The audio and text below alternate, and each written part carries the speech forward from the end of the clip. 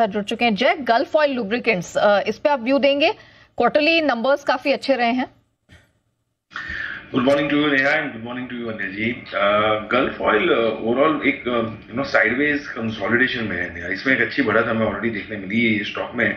वो बढ़त के बाद अब मुझे ऐसा लग रहा है कि ये साढ़े आठ सौ से लेकर एक हज़ार पचास, ये दो सौ पॉइंट के रेंज में ट्रेड कर सकते हैं, और अभी बीचों बीच है उसके 940 950 के आसपास।